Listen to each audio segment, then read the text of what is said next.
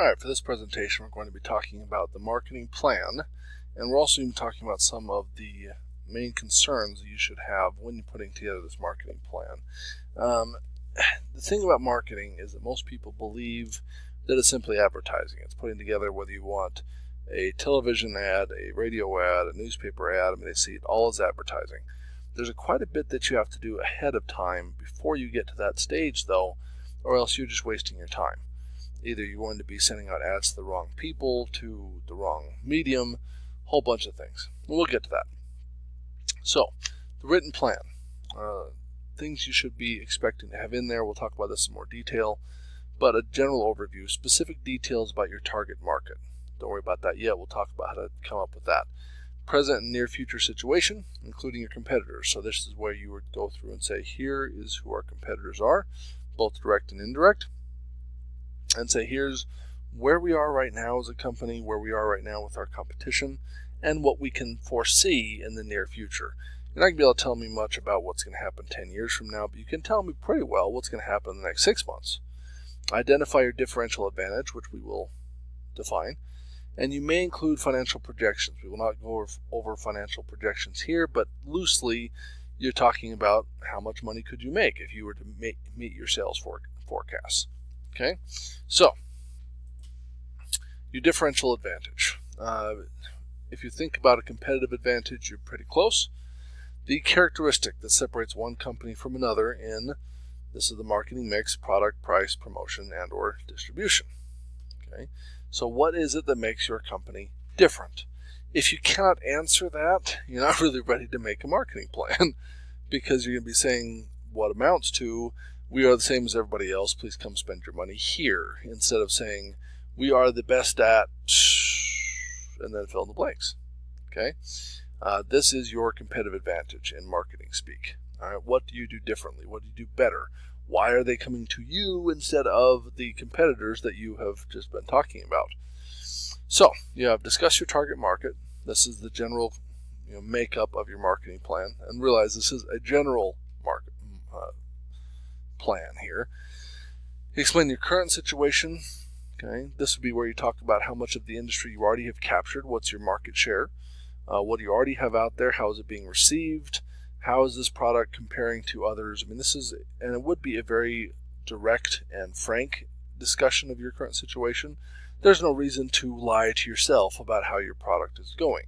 If your product is good but hasn't really been noticed yet, put it in there in detail saying, here's how we know it hasn't been noticed. We put it out these different locations, they're not buying.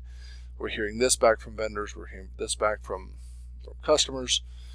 This is what they're saying to our employees while they're trying to sell it. Whatever you have. Okay. Then talk about your marketing strategy and objectives. Somewhere in here with your strategy would be where you talk about your advertising and say this is what we plan to do, this is what we plan to not do, etc. Uh, then your product, promotion, price, and place four P's. All right, your target market. The, here's where most people starting out with their first business mess up. All right, this is one of those places that just everyone does it because they come up with a new product. All right, let's call it a new cell phone.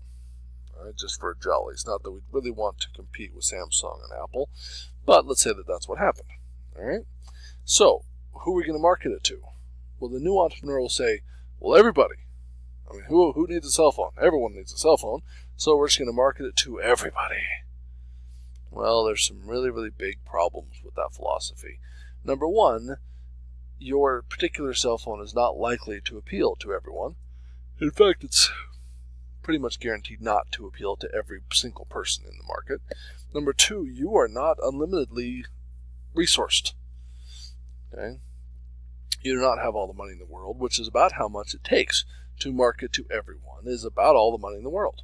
So, you're going to have to make some decisions. Number one, for just pure efficiency's sake. Number two, because your resources are not unlimited. So, we need to divide the market into groups. Call this market segmentation.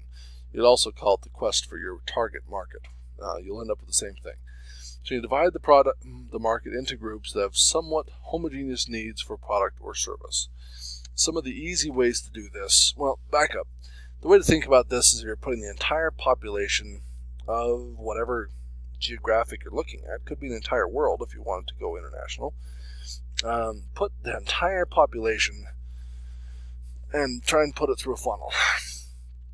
Okay, so think about massive upside down pyramid where he's putting all the people in at one side and it's getting narrower and narrower as you go down. Okay, so first things you're going to do. What if you're talking about marketing a new cell phone? How are you going to start to segment this? Well, do you really think you're going to be marketing cell phones to those under 14 or above the age of, say, 80? Well, not likely. The under 14 is more likely than above 80. But let's just, for simplicity's sake, say we're not going to do that. In fact, let's narrow it down even further and say that you are looking for the 16 to 30 crowd.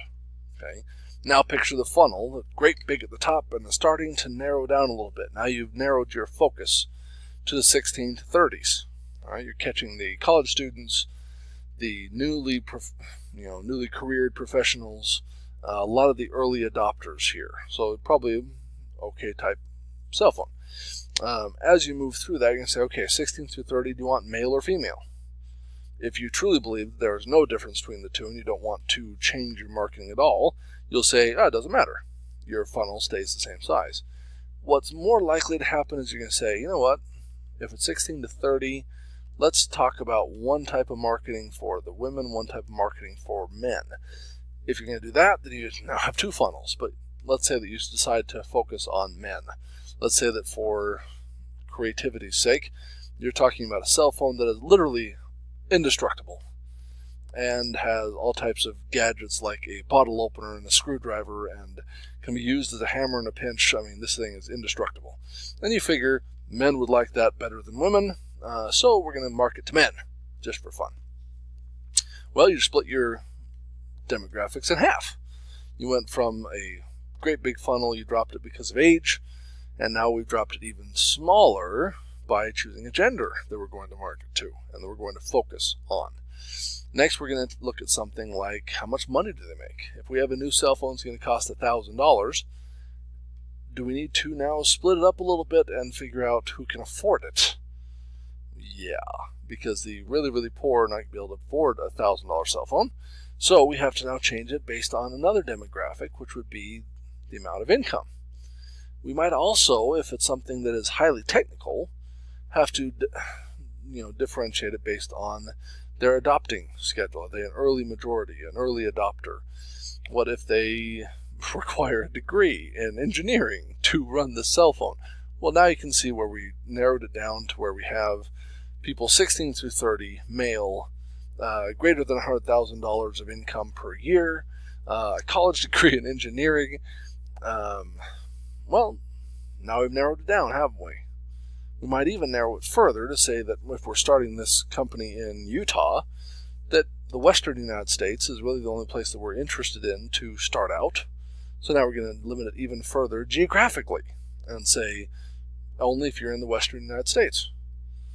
Well, we just went from the entire population of the at least the country, and we've narrowed it down to that particular target market. That is market segmentation. We take it all the way down and say, okay, if we're looking at that one, the male, eight, you know, 16 through 30, blah, blah, blah, blah, blah, blah, this is how we're going to market to them. Now, it doesn't mean that we're not going to have another product or another marketing plan that would go towards hitting the female market, um, 18 through 40, who live in the eastern United States. But that's going to be a different venture. It's going to be a different set of ads, different different advertising strategy, a whole bunch of different things. Okay, but do not make the mistake of saying I'll just market to everyone. It doesn't work for very many products. Usually, people just go broke trying to have an undifferentiated strategy. Okay, that's a target market. You should know it very, very well and be able to explain it. Now, talking about some undifferentiated strategy, here's an entire slide on it.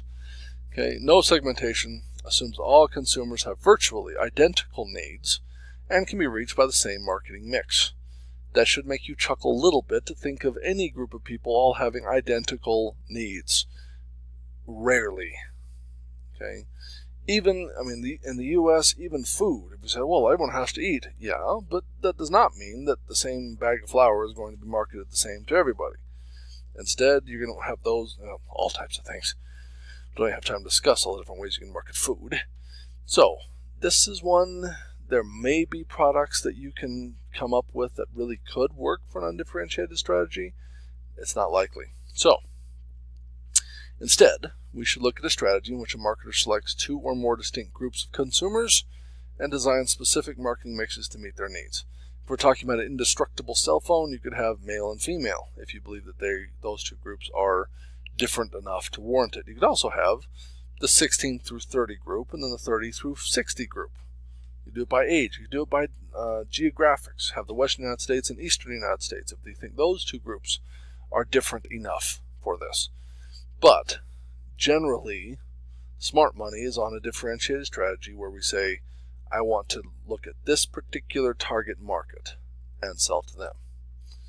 Now, the concentrated, one specific group of consumers, and designing a marketing mix specifically for that group. For our marketing plan, assignment, and business plan, stuff like that, you probably should focus on one specific group of consumers, just for length purposes. I'd rather see you do a very good job of addressing one target market than several very badly or very sparsely. Now, when you're talking about your competitors, remember in the marketing plan, we are talking about our current situation, which includes competitors. Remember they have both direct and indirect competition. Uh, the example the slides have here Coca-Cola, any other soft drink providers. Think Pepsi, think Shasta, think anybody who's making sodas. I don't know all the knockoff brands anymore. I don't really pay attention to them. But in college I did. Uh, but these are direct competitors. People that if they're looking at a display of your stuff, what what's right next to it, competing with you, they're either going to grab Pepsi or Coke. Those are your direct competitors. They're also the ones you're most likely to identify. To say if I'm starting a barbershop, old time barbershop, then the beauty salon across the street is my direct competitor. Okay? Now, Indirect comp competition is often overlooked, especially by new business owners, um, because we tend to think, and I've been in these conversations with people saying, it's the most wonderful product, everyone should want one, there's nobody else who makes anything like it. Well, that's a trap. That's a logic trap, because you say, yeah, no one else has had one like it, and yet the world has continued to spin without it. So nothing is truly so revolutionary that there is no, in, at least indirect competition.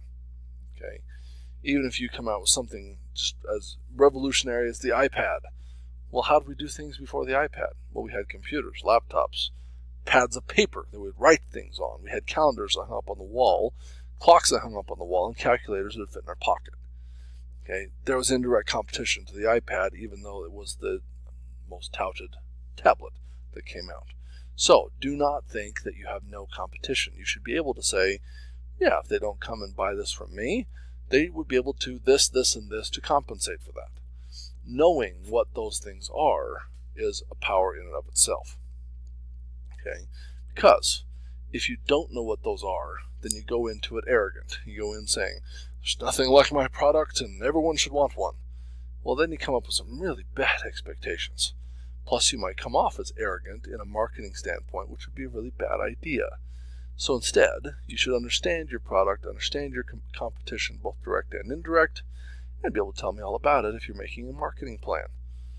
Okay, that is the end of this presentation. If you have questions, please contact me. I'd much rather answer questions about it before you turn in, in an assignment that displays that you did not understand something about the marketing plan. Okay? Thank you for watching this presentation. Hope you have a very good day.